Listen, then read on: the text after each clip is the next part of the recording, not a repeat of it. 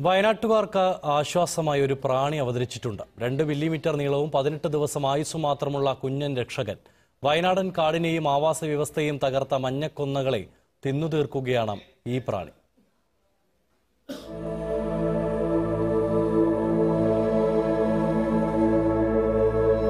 ഇതൊരു പ്രാണിയുടെ കഥയാണ്.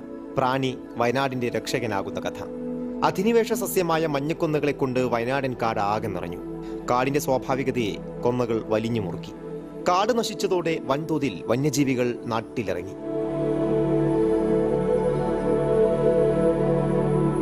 മഞ്ഞക്കുന്നുകൾ വെട്ടിമാറ്റാൻ വനംവകുപ്പ് പഠിച്ച പണി പതിനെട്ട് നോക്കി. നടന്നില്ല. ഒന്ന് വെട്ടിയാൽ പത്തെണ്ണം വളരും എന്നായി സ്ഥിതി. കൊന്ന വെട്ടിമാറ്റാൻ ഇതിനോടകം ലക്ഷക്കണക്കിന് രൂപയാണ് വനംവകുപ്പ് ചെലവാക്കിയത്. അങ്ങനെ ഇരിക്കെയാണ് നേരത്തെ പറഞ്ഞ പ്രാണിയുടെ രംഗപ്രവേശം.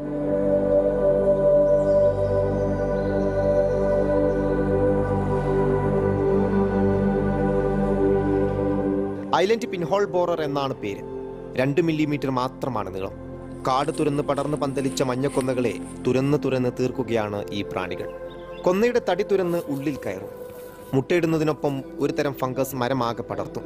ഈ ഫംഗസ് മരത്തെ ആഹാരമാക്കുന്നതോടെ ഉണങ്ങി തുടങ്ങും. ലക്ഷക്കണക്കിന് സെന്നമരങ്ങളുണ്ട് മുത്തങ്ങക്കാട്ടിൽ വയനാട് വന്യജീവി സങ്കേതത്തോട് ചേർന്ന ഭാഗമാണല്ലോ.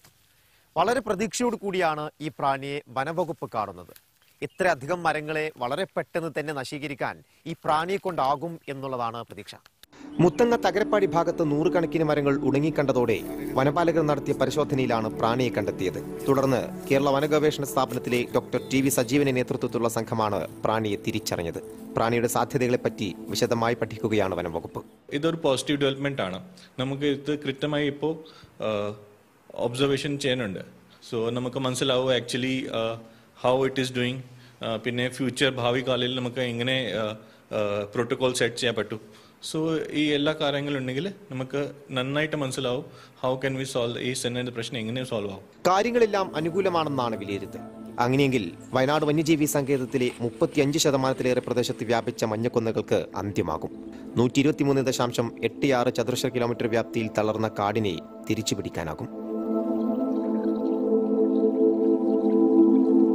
ക്യാമറമാൻ സന്തോഷ് ബ്ലോക്കൊപ്പം ഷഫി ഹളയോടത്ത് മനോരമ ന്യൂസ് വയനാട്.